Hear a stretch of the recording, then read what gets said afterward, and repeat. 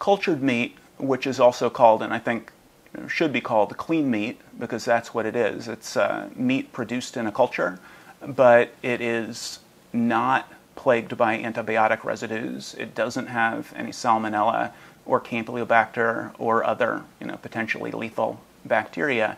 And clean meat is grown in a culture without the use of animal slaughter. So right now, we grow meat by feeding animals in a vastly inefficient relationship where you put nine calories into a chicken or 25 calories into a cow. The vast majority of those calories the animal expends simply existing. Some of it goes into bone or blood or other things that people don't eat.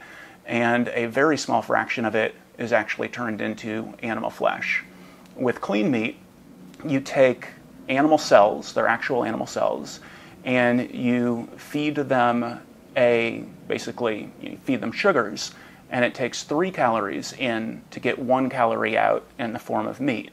And that meat is obviously at least you know, it's three times more efficient than chicken, which is the most efficient animal-based meat.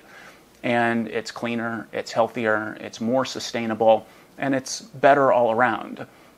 So once we are producing cultured meat, clean meat, and it's less expensive than animal based meat, um, I am absolutely convinced that people will choose it.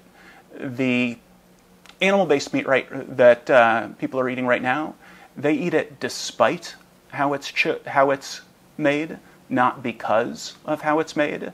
Generally, meat eaters you know, prefer not to even think about what's happening on modern farms or in modern slaughterhouses. And the meat industry itself is passing laws to make it illegal to find out and tell people what's happening on these farms and slaughterhouses. With clean meat, it will be produced in the equivalent of a meat brewery.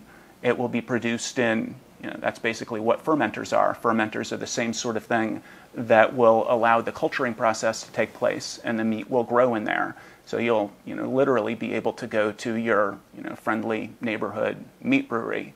And when people have the option of choosing something that is completely transparent, clean meat, and something that is so obfuscated that they're passing laws to make it illegal to find out about it, and the one product is cheaper, more sustainable, cleaner, safer, and the other product is the opposite of all those things.